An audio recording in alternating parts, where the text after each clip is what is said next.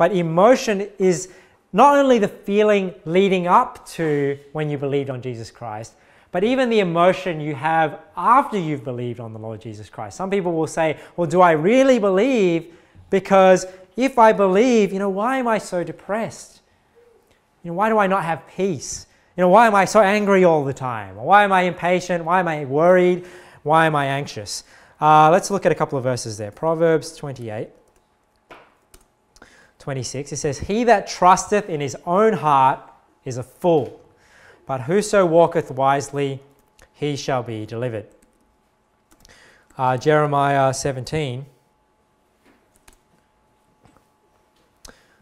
We'll just read from verse 5. Thus saith the Lord, Cursed be the man that trusteth in man, and maketh flesh his arm, and whose heart departeth from the Lord. And we just skip a couple of verses, go down to verse 9, which is a very famous verse.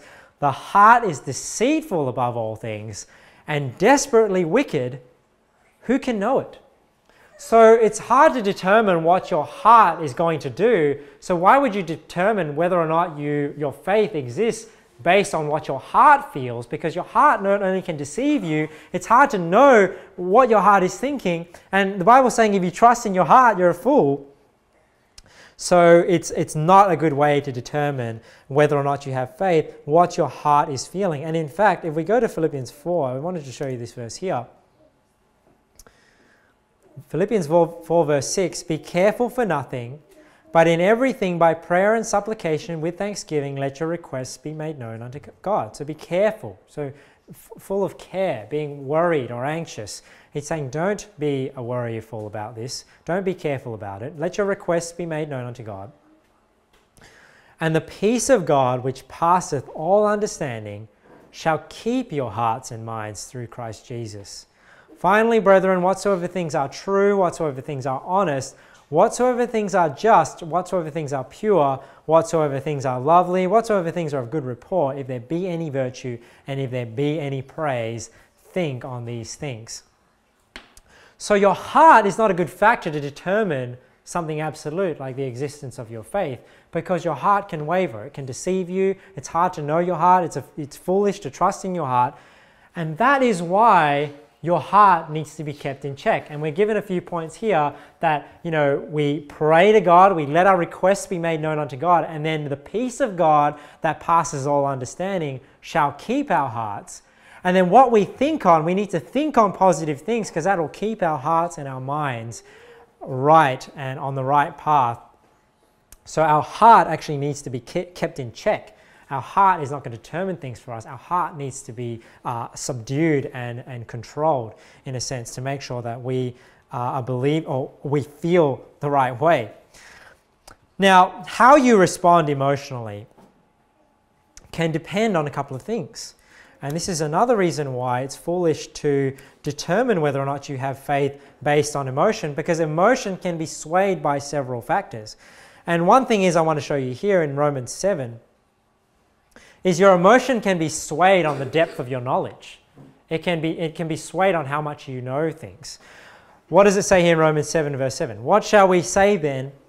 Is the law sin? God forbid. Nay, I had not known sin but by the law. For I had not known lust except the law had said that the law had said, Thou shalt not covet. But sin, taking occasion by the commandment, wrought in me all manner of concupiscence, concupiscence, for without the law sin was dead. For I was alive without the law once, but when the commandment came, sin revived, and I died. And the commandment which was ordained to life I found to be unto death. For sin, taking occasion by the commandment, deceived me, and by it slew me.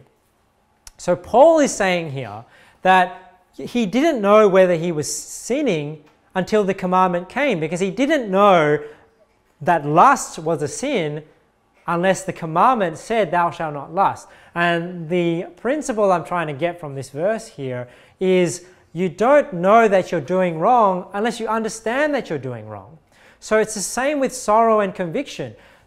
Maybe you're not sorrowful or, or, don't have that feeling of guilt because you don't even know what you're doing is wrong. So sorrow and guilt can be a result of your knowledge about what is right and wrong. It may not be, it, it isn't whether or not your faith exists or not. Uh, let's look at another passage here in uh, Luke 7:36.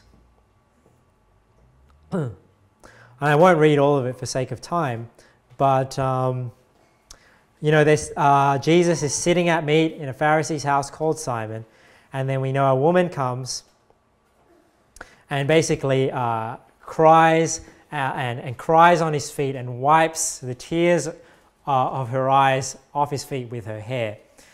Now, let's read from verse 39. When, now, when the Pharisee which had bidden him saw it, he spake within himself, saying, This man, if he were a prophet, would have known who and what manner of woman this is that toucheth him, for she is a sinner.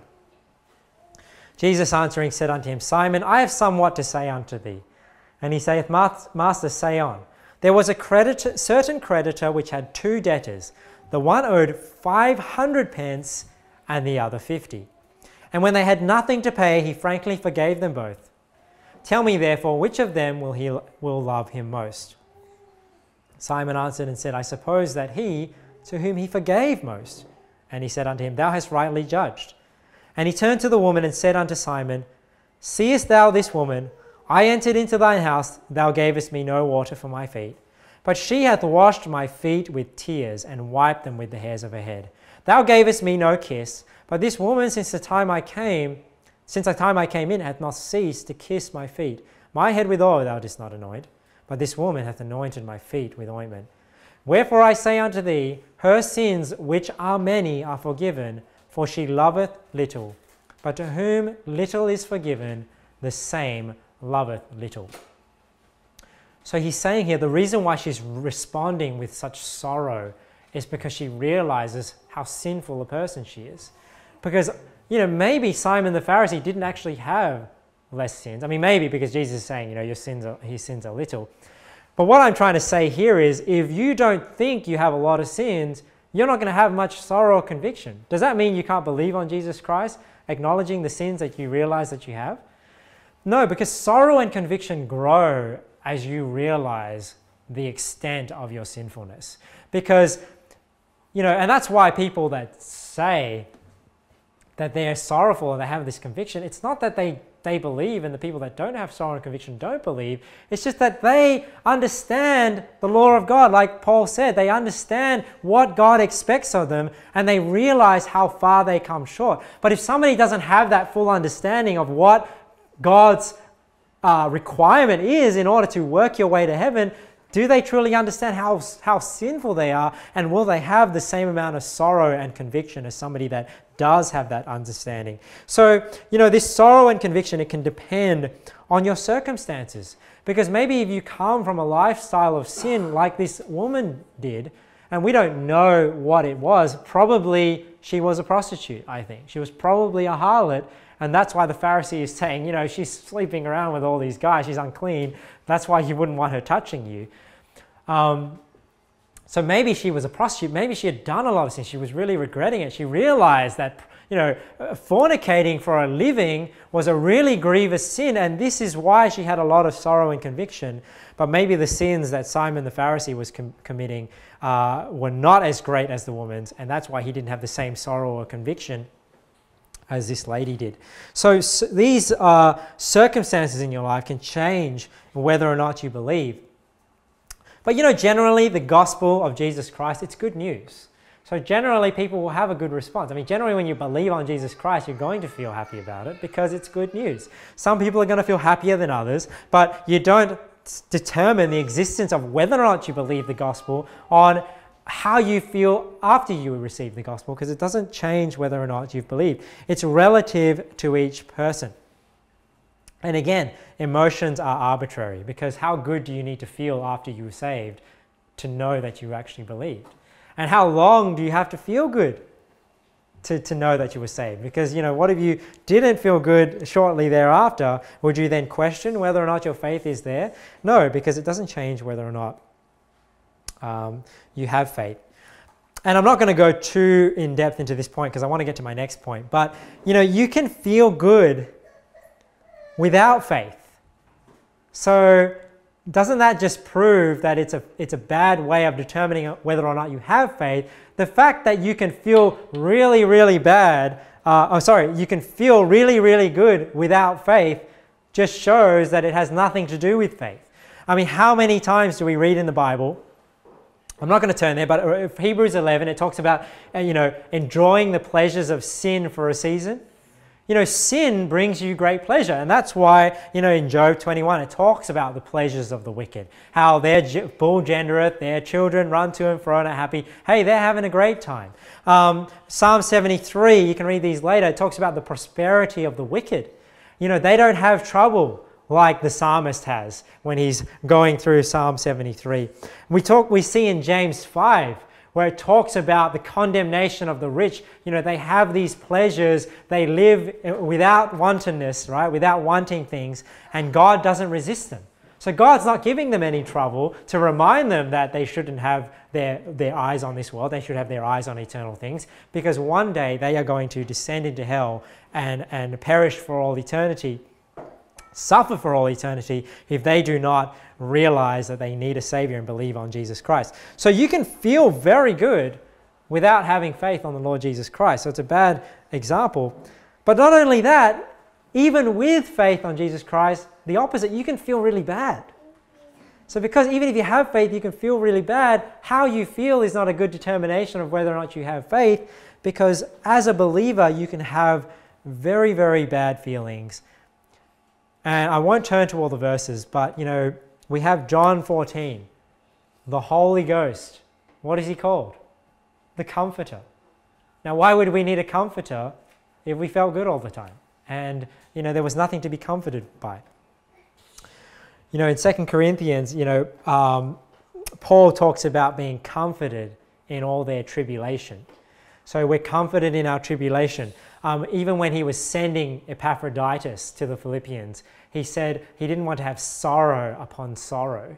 So sorrow is possible as a believer. So it's foolish to say, well, I don't have faith because why would I be so sorrowful? Why do I not have this joy, like the joy of the Spirit, that uh, I should have as a child of God? Well, you know, not necessarily, because you can have sorrow and we're comforted in sorrow.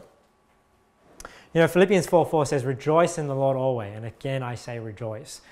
Now, if rejoicing was automatic, if you believed on Jesus Christ and you're just head over heels, you're always rejoicing. And you know, one, you know, people say, well, once I got saved, I was just so full filled with joy, and I used to be sorrowful.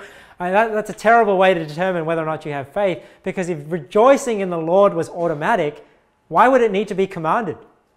Why would God say, you know, rejoice in the Lord always? And again, I say rejoice. Is if you believed on Jesus Christ, it was automatic. Well, it's not automatic. That's why we're commanded to rejoice in the Lord.